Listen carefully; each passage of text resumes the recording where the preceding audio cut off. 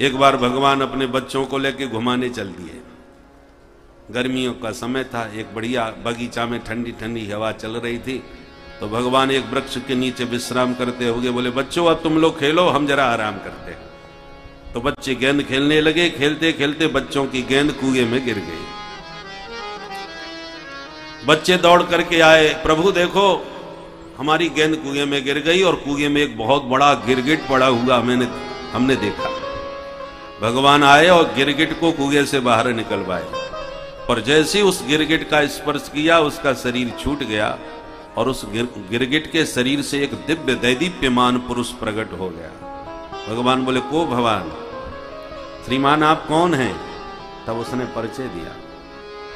नगो नाम नरेन्द्रो हम इक्ष्वाकु तनय प्रभो दाने स्वाख्याय मानेसु यदि ते कर्णम स्पृशम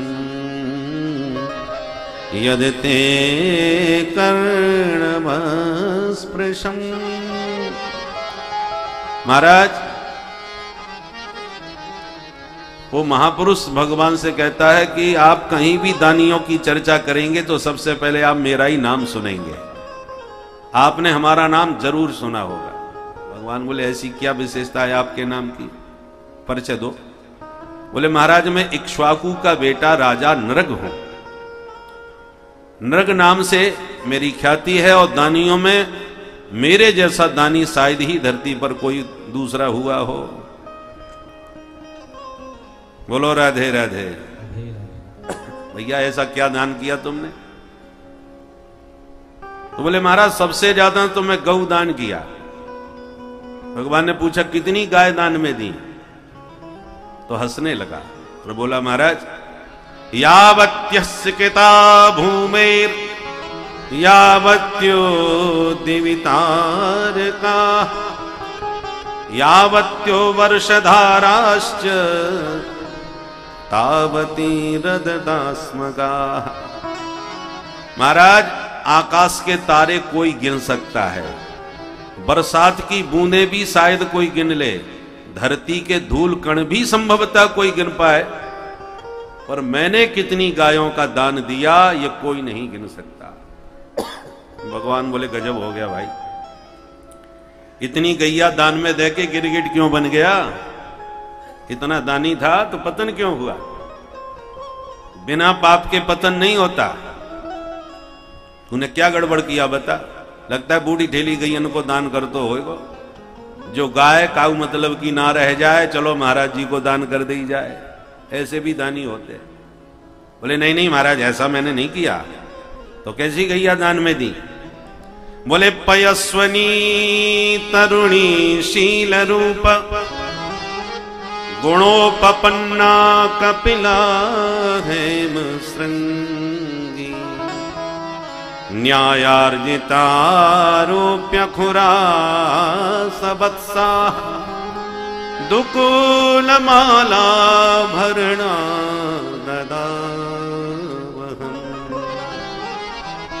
महाराज, पयस्वनी, दूध देने वाली गायों का ही दान किया हूँ। भगवान बोले हाँ बुढ़ापे में अंतिम बार दूध दे रही होगी। बोले, ना, तरुणी, नई नवेली गायों का दान किया हूँ। तो लात मारती होगी, इसलिए दान कर दी। बोले, नहीं, शील रूप एकदम सुशील गाय स्वभावतः सीधी होती है।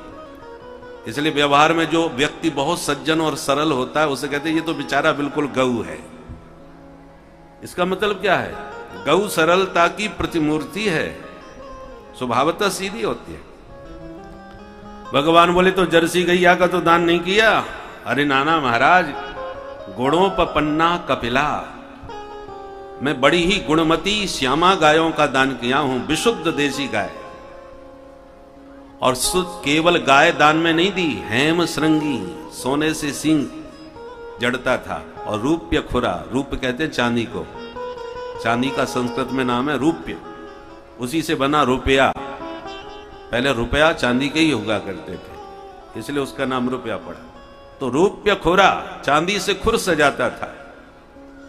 और सबत्सा जो उसका बछड़ा होता था, उसे भी दान में दे देता, गाय के साथ ही। भगवान बोले, तब तो तेरा पैसा दो नंबर का हुआ होगा। बहुत से लोग ऐसे होते हैं, मिलावट करके खूब माल कमाते हैं, और बाद में फिर धर्मार्थ औषधालय भी चलवा देते हैं। अरे भैया, तू बीमार करके फिर दवा खिला रहा है, उससे अच्छा है कि तू बीमार करना ही बंद कर। तो ऐसे भी तो तेरा पाप पाप का पैसा होगा, इसलिए तेरा पतन हुआ। बोले, नहीं नहीं महाराज, ऐसा भी नहीं। न्यायार्जिता, न्याय द्वारा अर्जित धन का दान किया हूँ, पाप की कमाई नहीं दी। भगवान बोले, जब तेरे दान में कोई दोष नहीं था तो तू गिरगिट क्यों बना, ये बता। तब बोला, महाराज, ये गलती अनजाने में हमसे हो गई थी। क्या? बोले, एक ब्राह्मण की गाय थी जो भाग करके मेरी गायों में मिल गई, मैंने उसे अपनी समझ के दूसरे ब्राह्मण को दान कर दी।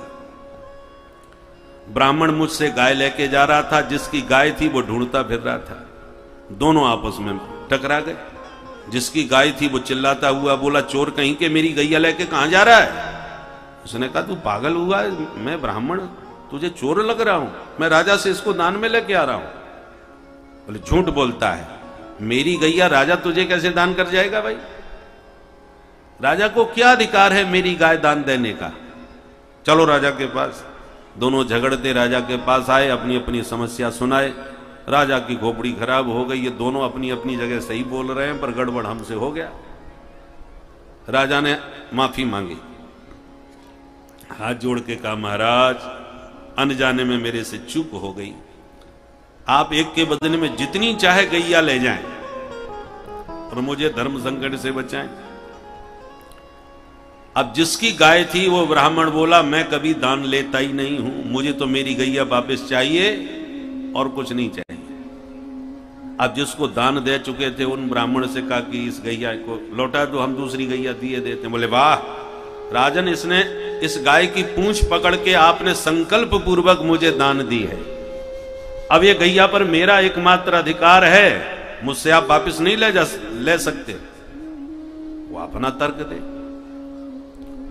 राजा को इस समस्या का कोई समाधान नहीं मिला तो दोनों ब्राह्मण रुष्ट होकर गाय राजा के पास ही छोड़ के चले गए। तू संभाल, हमें नहीं चाहिए। दान देता है कि झगड़ा करवाता है? मरणोपरांत राजा से यमराज ने पूछा कि राजन, आप बड़े दानी हैं। पर एक दोस्त तुमसे हो गया है, भले ही भूल से ही सही, पर भूल से भी कोई जहर खा ले तो मरना तो पड़ता है। वस्तु शक्ति ज्ञान की अपेक्षा नहीं रखती। तो तुम्हें दंड तो मिलेगा तो पहले ये बताओ पुण्य भोगोगे कि पाप? राजा ने कहा तो थोड़ा सा पाप है, पहले इसी को भोगा दीजिए। बस इतना कहती गिरगिट हो, बन के गिरा। आज पुण्य उदय हुए वो सारे शुभ कर्म। तो आज प्रभु आपके दर्शन हो गए, आपके स्पर्श से सारे पाप भी धुल गए, अब मैं चलता हूँ और प्रणाम करता हुआ चला गया। अब इस घटना से सोचने की बात है, राजा की गलती क्या थी? बहुत से लोग ये तर्क करते हैं। कोई गलती राजा की नहीं थी। भगवान ये शिक्षा देना चाहते हैं कि तुम कितने भी सदाचारी सही, परंतु अहंकार में भर के कार्य करोगे तो वो अभिमान तुम्हें कहीं ना कहीं गिराएगा। राजा दानी था, इसमें कोई संदेह नहीं। महादानी था, परंतु दानी होने से कहीं ज़्यादा दानाभिमानी था। मेरे जैसा दाता दुनिया में कोई नहीं। भगवान से भी कहता है, महाराज, आपने मेरा नाम ज़रूर सुना होगा। दानियों की कहीं चर्चा करो, पहले नाम मेरा ही आपके कान में पड़ेगा। यद ते कर्णम स्मृशम। ये शब्दावली बता रही है कि ये कितना अहंकारी है। व्यक्ति की वाणी से ही उसके व्यक्तित्व का पता चल जाता है। बहुत से लोग अहंकार में जो भरे रहते हैं, उनकी शब्दावली अजीब होती है। महाराज, यहाँ पर पूरे क्षेत्र में कहीं भी मेरा नाम पूछ लीजिए, पूरे क्षेत्र में मेरा जूता पूछता है। अपने मुँह से खुद ही कहेंगे तो इस प्रकार के अहंकारियों का शब्द अलग ही होता है। और भगवान यही बताना चाहते हैं कि देखो, तुम कितने बड़े धर्मात्मा, पुण्यात्मा हो, पर अहंकार के कारण तुम्हारा कितना पतन हो गया। एक बात बताएँ साबुन सफ़ाई करता है।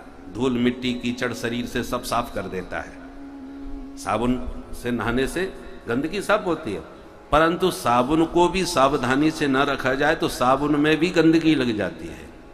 धूल मिट्टी लग जाए तो साबुन भी खराब हो जाता है, इसलिए साबुन के लिए भी साबुनदानी होती है जो साफ़ करके वो रखो उसमें। उसी प्रकार जिन शुभ कर्मों से हमारा शोधन होता है, परिमार्जन होता है उन शुभ कर्मों को भी भगवान की कृपा की डिब्बी में रखना चाहिए।